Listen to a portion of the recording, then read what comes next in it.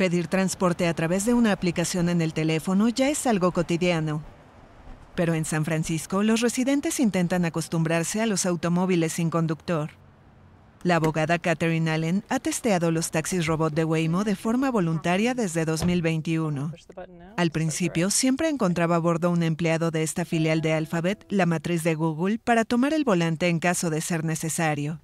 Pero una noche hace unos meses, el automóvil llegó vacío. Siempre me he sentido más segura en estos autos que con los conductores humanos, lo cual ha sido un poco extraño porque creo que la sensación de falta de seguridad proviene simplemente de no tener ese humano allí, de no tener comunicación directa.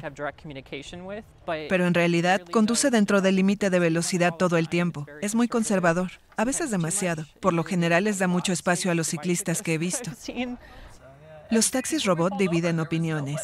Los ecologistas los acusan de perpetrar el reinado del coche individual. Las asociaciones de personas con discapacidad no los encuentran adaptados a sus necesidades y los sindicatos temen la pérdida de puestos de trabajo. Pero otros los consideran positivos para estas causas.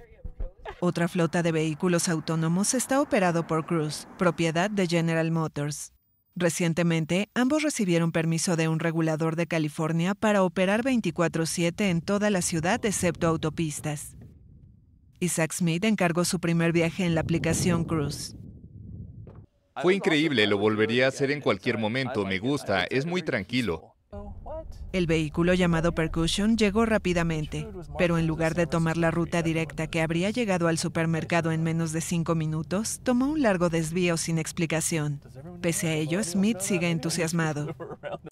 Nos desplazamos para ir a la primaria de mi hija. Desde que los vi en las calles pensé, esto será fantástico para que mi hija y sus amigas vayan a la escuela. No tendremos que hacer una enorme agenda para compartir el auto entre padres. Algún día todo estará automatizado para nosotros. No creo que hayamos llegado a ese punto todavía.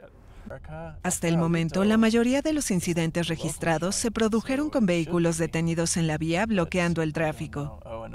Sin embargo, las autoridades de tránsito pidieron a Cruz que redujera a la mitad su flota en San Francisco, 50 coches activos durante el día y 150 por la noche, mientras investiga dos colisiones ocurridas la semana pasada, incluida una con un camión de bomberos.